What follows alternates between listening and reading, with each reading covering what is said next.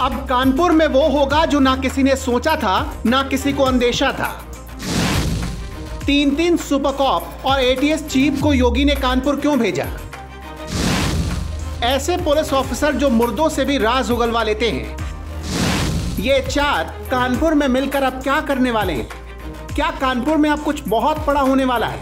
क्या कानपुर में कुछ ऐसा होने वाला है जो ना किसी ने सोचा था और ना ही किसी को अंदेशा था? क्योंकि कानपुर में शुक्रवार को ही हिंसा की जड़ तक पहुँचने एक एक साजिश का पर्दाफाश करने की ज़िम्मेदारी सरकार ने इनकाउंटर स्पेशलिस्ट अजय पाल शर्मा को सौंपी है। जिनकी टीम में आईपीएस अविनाश पांडे के अलावा तेज तरार चारू निगम भी होंगी। इसके अलावा एटीएस चीफ नवीन अरोड़ा को भी कानपुर भेजा गया ताकि वो इस हिंसा के पीएफआई कनेक्शन का पता लगा सके।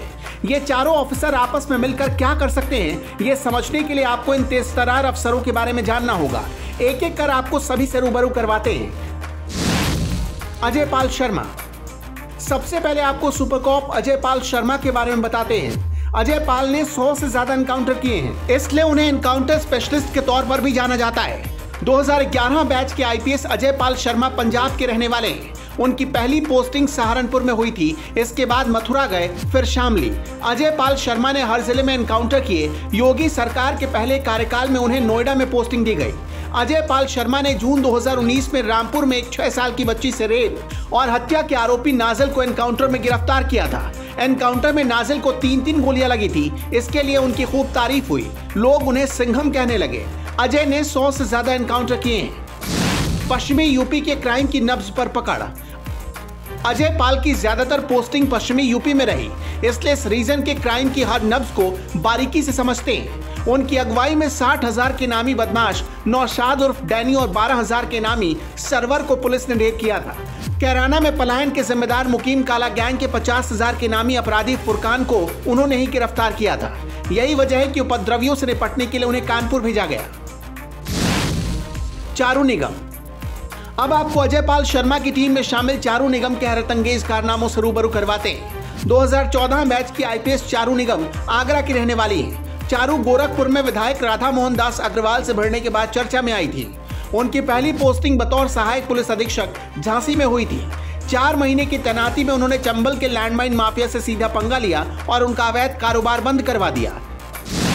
118 गलत मुकदमों को खत्म करवा कर किया दिलों पर राज। 2016 में चारू की पोस्टिंग गोरखपुर में हुई। वहाँ मेडिकल कॉलेज से चोरी हुए बच्चों को बरामद करके आरोपी महिला को गिरफ़्तार किया। इस कार्रवाई में उनकी खूब तारीफ़ हुई। इसी दौरान उन्होंने लंबित विवेचनाओं की फहरिस्त से 118 ऐसे केस निकाले, जो गलत दर्ज किए गए थे। चारू ने इन्हें खत्म करवाया। इस वजह से उनकी छवि एक नर्म दिल और लोगों के लिए सोचने वाली पुलिस ऑफिसर के रूप में बन गई। अविनाश पांडे। 2015 बैच के आईपीएस अविनाश पांडे का गृह जनपद खीरी है। इनकम टैक्स और डाक विभाग में सेवा देने के बाद वो आईपीएस बने। उनकी बरेली, कानपुर और मैनपुरी में फ़ील्ड पोस्टिंग रही। मौजूदा समय में वो मुरादाबाद में पीएससी के कमांडेंट है। इससे पहले उन्नाव के एसपी थे। उन्नाव का चार्ज संभालते ही उन्होंने गोकशी रोकने के लिए छोटे बड़े सभी बूचड़खानों पर ताला जड़वा दिया।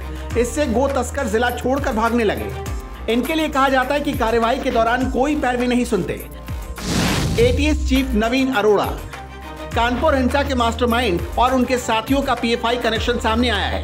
पीएफआई कनेक्शन सामने आने के बाद एटीएस की टीम एक्टिव मोड पर आ गई है। सीएम योगी के आदेश पर एटीएस एडीजी नवीन अरोड़ा कानपुर पहुँच चुके हैं। उनके साथ कमांडो का दस्ता भी पहुँचा है। अब ये चारों धाकड़ ऑफिसर आपस में मिलकर कानपुर में क्या करने वाले हैं, इसका अंदाज़ा कोई नहीं लगा सकता। लेकिन हाँ इनके ट्रैक रिकॉर्ड को देखते हुए इस बात की सौ फ़ीसदी गारंटी है कि ये कुछ ज़रूर बड़ा करेंगे। जाते जाते आपको फिर बता दें, कानपुर के यतीम खाने में शुक्रवार को जुमे की नमाज़ के बाद दो समुदायों के बीच हिंसक झड़प हुई थी।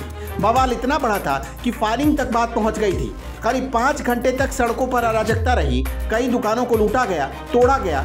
पुलिस अब तक की जाँच के आधार पर यह दावा कर रही कि हिंसा साजिश का हिस्सा थी। इसलिए सीएम योगी ने अपने तेज तरार सुपर कॉप्स को इसकी जाँच की ज़िम्मेदारी सौंपी है। ब्यूरो रिपोर्ट, अपना उत्तर प्रदेश।